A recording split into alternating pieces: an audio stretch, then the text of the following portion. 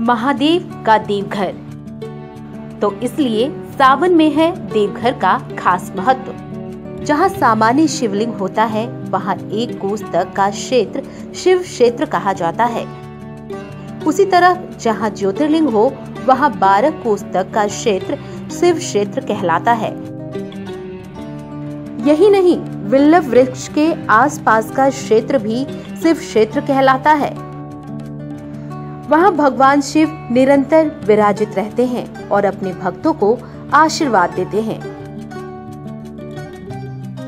फिर देवघर में तो भगवान शिव का तीनों लोगों को सुख देने वाला परम कल्याणकारी कामना लिंग है, जिसके दर्शन मात्र से भक्तों की जन्म जन्मांतर के पाप जलकर नष्ट हो जाते हैं।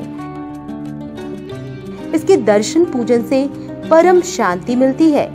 उन सर्वेश्वर शिव के नगर देवघर में रहना कौन नहीं चाहेगा? जब बड़े पुण्य उदित होते हैं तो व्यक्ति देवघर में रहने का सुयोग प्राप्त करता है। जो व्यक्ति यहाँ रहकर भगवान शिव का भजन पूजन करता है, या फिर यहाँ आकर भगवान बैद्यनाथ की आराधना करता है, वह साक्षात शिव स्वरूप हो जाता है। उससे बड़ा भाग्यशाली इस धरती पर और कोई नहीं है। ऐसा भारतीय धर्मशास्त्रों और पुराणों का मत है।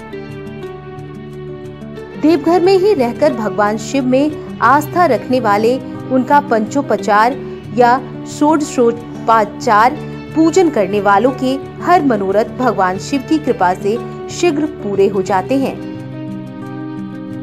जो देवघर में रहकर भक्ति करते हैं, उन पर शिव जी ही नहीं, तैतीस कोटि देवता भी प्रसन्न होते हैं।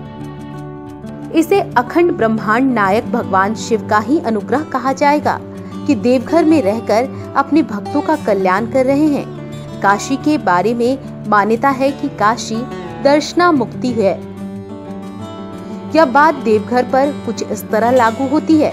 देवघर, दर्शनार्थ, कामना पूर्ति। ऐसी मान्यता है कि देवघर में रहकर भगवान शिव की आराधना करने वालों को दुख छू भी नहीं पाते।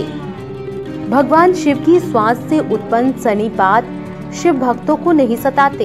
यही नहीं, शिव भक्तों को शनि से भी कोई कष्ट नहीं होता।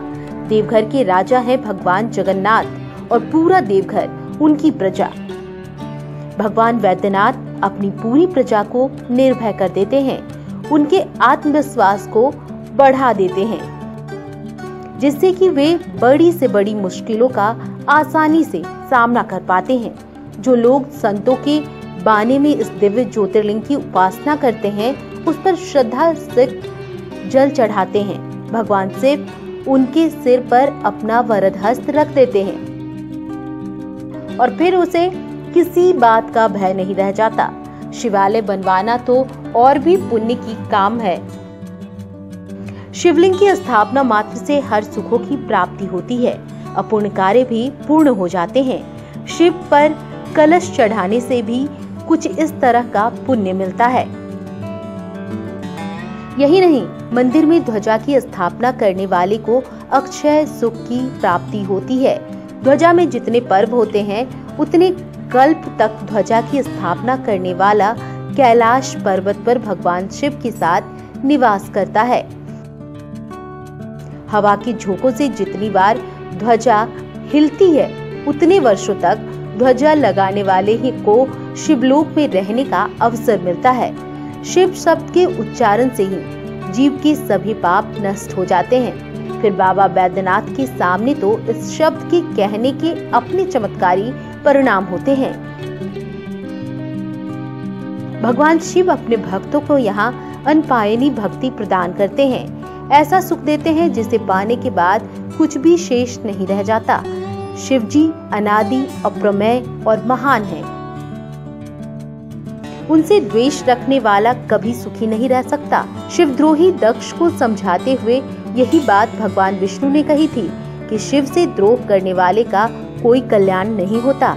शिव की कृपा के बिना चाहे कोई कितना ही अधिक प्रयत्न क्यों ना कर ले, उसे कोई फल नहीं मिलता। जहाँ शिव पूजन नहीं होता वहाँ यज्ञादि कार्य भी निष्फल ही रहते हैं।